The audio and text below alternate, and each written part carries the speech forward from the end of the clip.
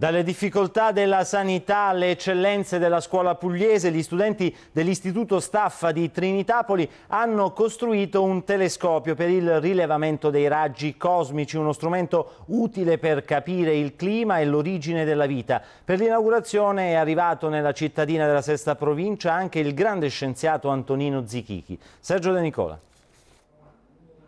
Più che un telescopio inteso in senso tradizionale, questo realizzato dai ragazzi del liceo Staffa di Trinitapoli è un rivelatore di particelle per studiare i raggi cosmici dalla cui esistenza dipendono in parte il clima, l'origine e l'evoluzione stessa della vita. I due gas che noi abbiamo a disposizione sono l'esafluoruro di zolfo e il tetafluoretano.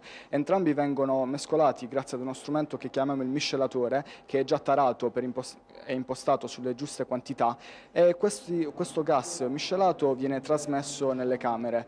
Eh, le camere vengono così, grazie al gas, ionizzate e quando vengono colpite da un raggio cosmico, eh, le strip che sono al loro interno, ovvero delle fasce, eh, riescono a rilevare la posizione eh, del raggio raggio cosmico e quindi mandano un impulso elettrico così che anche noi digitalmente possiamo capire la posizione dello stesso. Creato dopo uno stage presso il CERN di Ginevra nell'ambito di un progetto di ricerca che vede coinvolti diversi istituti superiori d'Italia, il telescopio è stato inaugurato dallo scienziato Antonino Zichichi, da anni impegnato nell'avvicinare i giovani alla fisica. I ragazzi sono estremamente interessati a lavorare su problemi di grande attualità scientifica e usando tecnologie modernissime. Se dovessimo pagare queste cose via industriale ci sarebbero miliardi di euro necessari. Zichichi ha poi ricevuto la cittadinanza onoraria di Trinitapoli, il più piccolo dei centri italiani coinvolti in questo progetto di ricerca sulle origini del Big Bang.